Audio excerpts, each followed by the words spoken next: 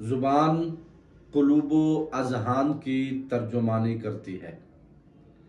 इसलिए आप जब भी अपनी ज़ुबान से कोई कलमा कहें, अपनी ज़ुबान को हरकत दें, ज़ुबान इस्तेमाल करें तो हमेशा ज़ुबान अपने कंट्रोल में रखें।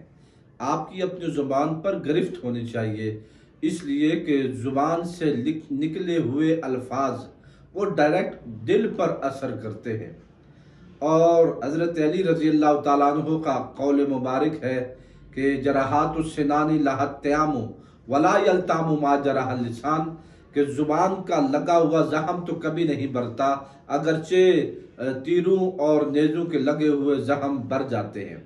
इसलिए ज़ुबान दिल पे असर करती है और इस ज़ुबान से दिल पे जो जख्म लगता है, वो कभी भरता नहीं है। ये ज़ुबान दिलों को तोड़ देती है। किसी सूफी ने खूबसूरत बात कही थी कि दिल खुदा का तख्त है इसे मत तोड़िए।